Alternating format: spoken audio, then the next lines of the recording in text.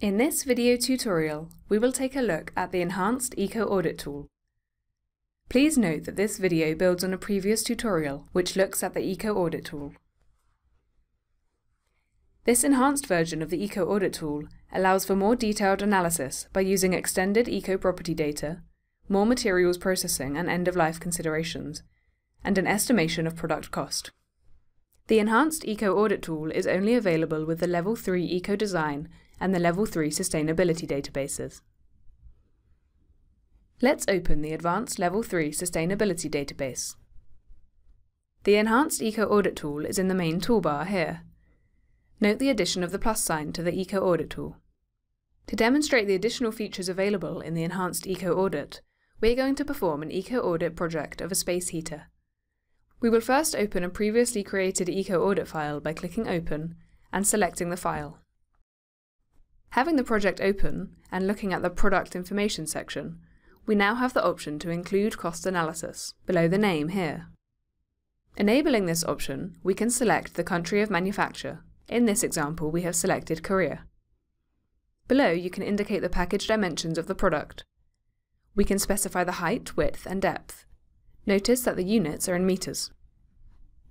The Enhanced Eco Audit has the same five sections as a standard Eco Audit. Within the Material Manufacture and End of Life section, we have the following columns. Quantity, component name, material, recycled content, mass, and primary process. In the Enhanced Eco Audit tool, notice we can input a secondary process which is dependent on the choice of material. The following column lets you input the percentage of material removed during the secondary process.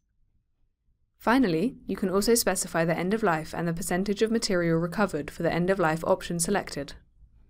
If you want to know more about any of the sections, just click on the question mark icon after each section's title. The table Joining and Finishing is also part of the additional information in the Enhanced Eco Audit.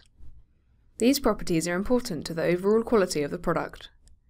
They can also significantly affect the environmental impact. The units depend on the process selected.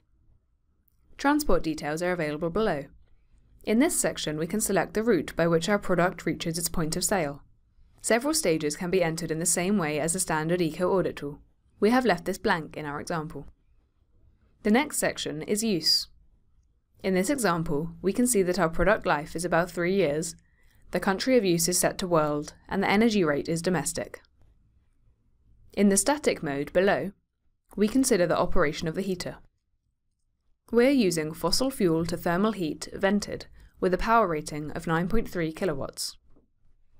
We will estimate that it is used 10 days a year and 2 hours a day. The heater is designed to be portable, so we have to consider its mobile mode.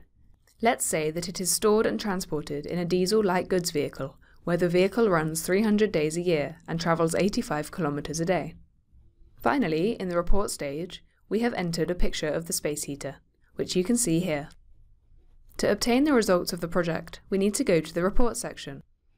Clicking on Summary Chart opens a chart that shows the impact of the product over its different life phases. We can choose whether to view energy, CO2, or cost. This summary chart is very useful when comparing product designs. Clicking Detailed Report here automatically loads the report in a separate tab and generates the results. In this first page, we can see a bar chart summarising the relative contribution of the different life phases. In the graph, the use phase dominates the energy, CO2 footprint and cost of the space heater. The final column of the chart shows the end-of-life potential, if all of the materials were used as effectively as possible. Below that is a summary table. The next three pages give a detailed analysis for each impact, energy, CO2, and cost. The report will update automatically with any changes to the product definition. The report can be visualized in print layout ready to print, or be exported into different formats by clicking the export button. In following video tutorials, we can learn about the other tools and databases that are available in CES EduPack, such as the Level 3 Eco Design database and the Synthesizer tool.